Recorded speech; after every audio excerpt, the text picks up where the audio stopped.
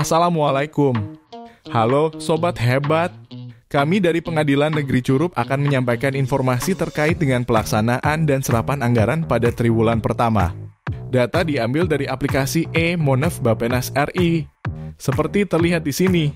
Untuk pelaksanaan dan serapan anggaran DIPA 01, terlihat pelaksanaan anggaran hingga triwulan pertama tahun 2024 sudah mencapai 35% dan serapan anggaran sudah mencapai 24, 68 persen.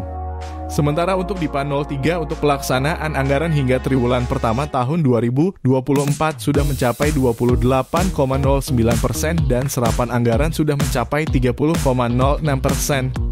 Demikianlah informasi terkait pelaksanaan dan serapan anggaran DIPA 01 dan DIPA 03 triwulan 1 tahun 2024. Atas atensi Sobat Hebat kami ucapkan terima kasih.